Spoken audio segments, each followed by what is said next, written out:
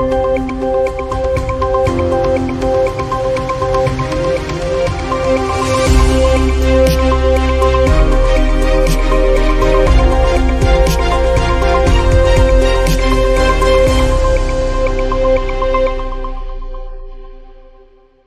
and welcome to the International News Daily Podcast. I'm your host, Denis Dunicic. Now, before we begin today, I want to remind you to subscribe to our channel. And at the end of the video, comment what you think. I love the discussions and debates we've been having in the comments section. Now, let's get right into our story today, which concerns growing tensions between Ukraine and Russia. Now, to have some context of this story before we begin, you have to have some understandings of the tensions that have been existing between Ukraine and Russia. And tensions are high. They are actually at war. The Russo Ukrainian war has been occurring since 2014. Now, I'm not going to go into complete detail because the war has a lot of dynamics, a lot of aspects, and a lot of historical events that have occurred over the last seven to eight years. And even before that, the historical tensions were extremely complicated. So, for me to comment on everything and everything that led to the beginning of this war and everything that led to what is happening today, it would absolutely take hours. And we don't have the time for that. But I will give a brief Overview.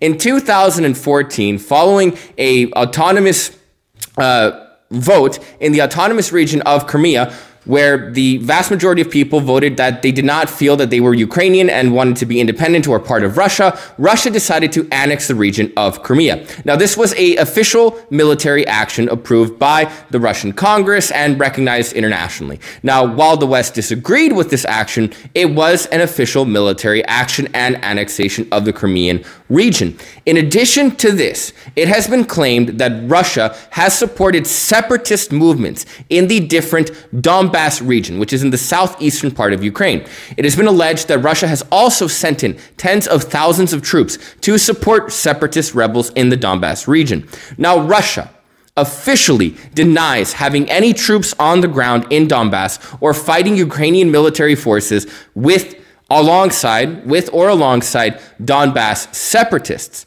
Now, that being said, President Vladimir Putin has acknowledged that there are Russian special forces and intelligence advisors on the ground to provide advisory support to Donbas separatist troops. In addition to this, Russia has openly stated that it has supported them supported the Donbas separatists in a different way, but it has denied its military involvement. Nonetheless, Russia has been accused of sending thousands of troops in unmarked military uniforms to fight alongside these separatists. Now, currently it is impossible to prove this, but there has been quite a lot of evidence indicating that Russia probably has been sending soldiers into the Donbas region.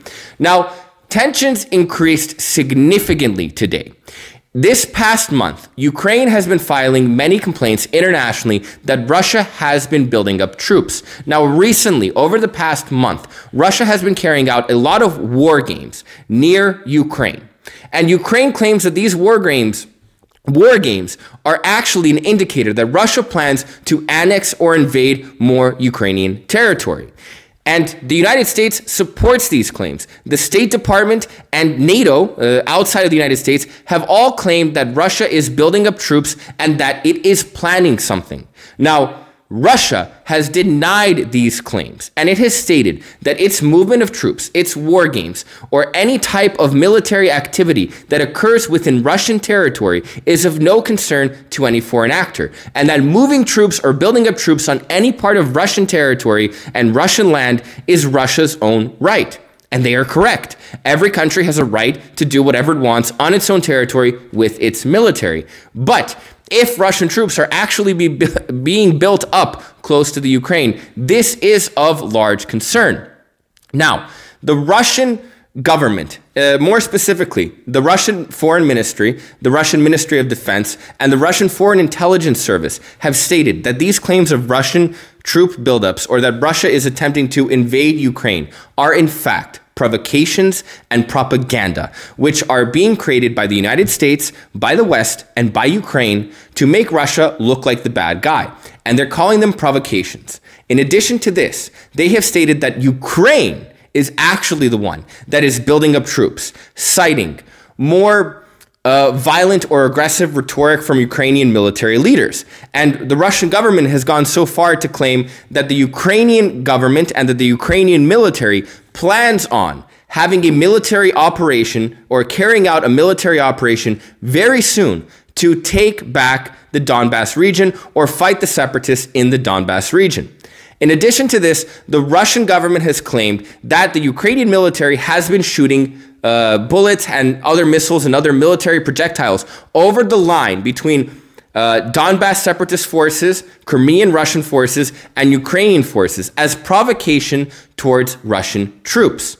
Finally, they have claimed that NATO and the United States has provided them with these weapons, which is true. The United States and NATO have provided Ukraine with weapons to assist them in their war against Russia and their eventual, what the United States feels, eventual takeback of their ter territory, or at the very least, to militarily support them with weapons, not soldiers, but with weapons, the West to support Ukraine to maintain the territory that it holds today. Now, this is interesting. One side and the other side are claiming that both are doing the exact same thing. Ukraine is claiming that Russia is building up soldiers to invade more Ukrainian territory, and that Ukraine is building up soldiers and increasing its military power to invade Donbas territory. Now, to the credit of the Ukrainian government, it has stated that it is not planning any military operations or military actions in either Crimea or the Donbas region. And it has stated that it would prefer and it wants to find a political and diplomatic solution for the conflicts and to gain its territory back. Currently, 7% of previously Ukrainian territory is under some form of occupation by Russian soldiers in the annexation of Crimea or by a Russian supported separatist movement. Now, I actually believe the Ukrainian government here. Here's the thing Ukraine, and Ukraine knows this very, very well, cannot militarily face Russia up front. It cannot afford to militarily provoke Russia or provoke an actual war. Militarily speaking, Ukraine, even with weapons and even with general support from the West and the United States and NATO and the European Union, would not militarily stand a chance against Russia. The only way that it would militarily be able to go face to face with Russia would be actual boots on the ground military support from the United States, NATO, or the European Union, which it probably would not get, as this kind of conflict would eventually lead to almost a World War level conflict. Now, what is actually going on? It's kind of interesting when you look at the history and the playbook of Russian tactics. Russia tends to build up troops next to a territory that it wants to invade. When it's accused of building up these troops or planning an invasion, Russian the Russian ministry, the foreign ministry or the Russian Ministry of Defense claims that these claims are baseless and that they are actually provocations. Eventually, Russia claims that they were militarily provoked and had no choice but to invade more territory. So it is actually possible that Russia is planning on acting on Ukrainian territory. But we can't say that for certain and we should give Russia credit. We can't just attack the country and say it's going to take more territory of Ukraine. But there is something really interesting that was stated by the Russian Foreign Intelligence Service regarding this issue, which is actually, and I am perceiving this as a threat to the West and a threat to Ukraine.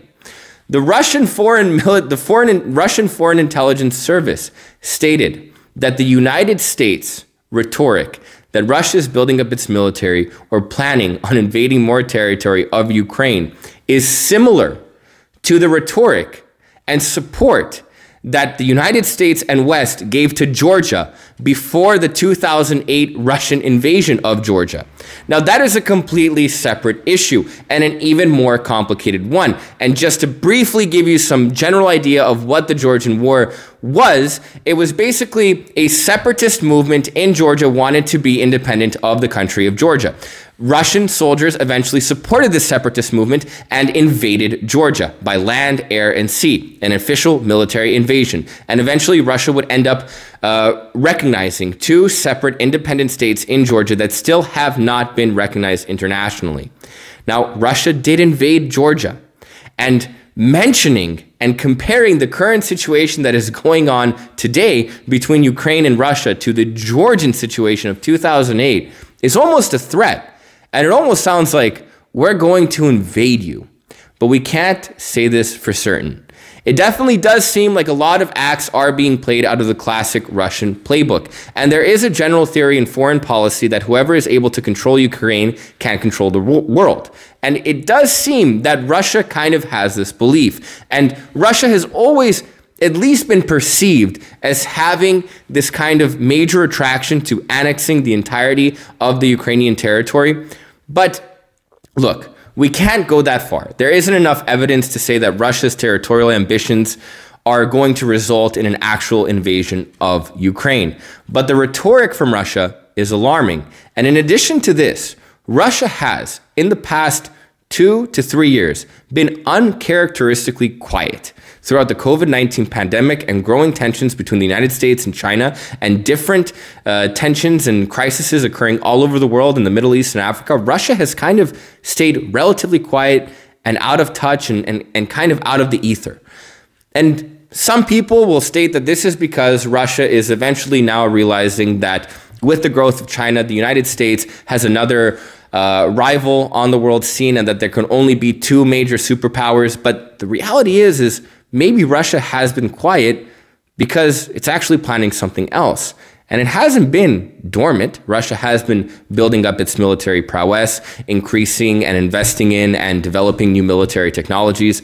There is a potential that Russia could annex or invade more Ukrainian territory. But saying that would be unfair to the Russian government. It would be unfair to their claims, which they state are their troop buildup is of no concern to Ukraine or the Western governments, and that there's no reason for alarm. But it definitely means something. What it means, I don't know, but it could potentially play out in the next few months. Let me know what you think. Do you think that Russia plans on annexing more Ukrainian territory? Do you think Russia has a right to more Ukrainian territory? Do you think Ukraine, the claims by the Russian government, do you think Ukraine plans on having a military operation to take back its Donbas territory? What do you think the United States is going to do as a response to the growing tensions? Comment whatever you like. Let's have a discussion. Thanks for tuning in, and I'll see you next time.